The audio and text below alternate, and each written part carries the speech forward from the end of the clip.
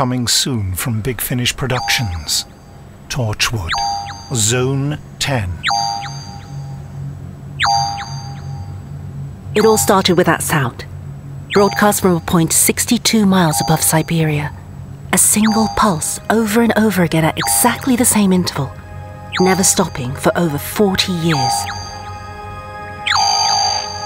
NASA always said it was something built by the Russians, a satellite of some sort. The Russians said it must be something built by NASA. It had many names over the years the blip, the bloop, the squidge.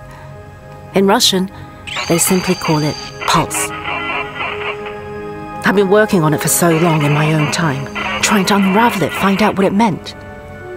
Then one night, I cracked it. A message that had been baffling the world for over four decades. Toshiko Sato, Pravda w zonie 10. Toshiko Translate. Sato, Pravda w zonie 10. Toshiko Sato, the truth is in zone 10.